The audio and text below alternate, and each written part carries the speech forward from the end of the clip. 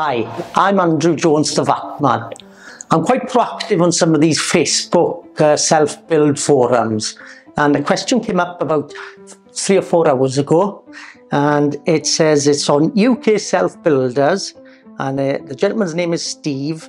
And uh, he's saying, those who are self-building two houses on the same plot, how are you going about the VAT reclaim? Is it the case of building both, then subdividing later, or can you only use one or do you have to do them one at a time rather than simultaneously? Uh, now then, uh, or is this a non-starter? So as long as you meet the criteria for each one, and that's being that they're for yourself or a direct family member to live in in the first instance, then yes, you would be able to claim for both. Now, I have tried asking Steve some specific questions, but he's not uh, responded, unfortunately. I appreciate the timescales were quite fast. Um, and some of these answers are relevant to my answer. So I want to know uh, what you're going to do with both houses. For argument's sake, is he going to sell one or live in both, his parents or his children or something along those lines? If he's immediately selling one, then that house cannot be claimed for unless he goes and registers as a business.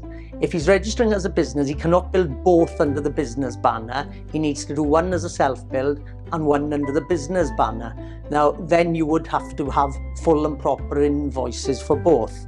Again, I don't know which one you're doing. Sorry, Steve. I wanted to answer this specifically for you. So then I want to know um, if they're being built at the same time. Does he have enough funding in place? Is he intending to build are there pair of semis maybe which would have to be pretty much built at the same time?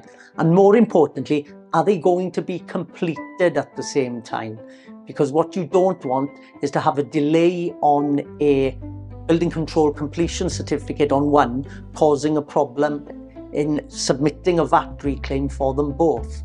So the short question is, the short answer is, yes, you can claim for both as long as they meet the criteria.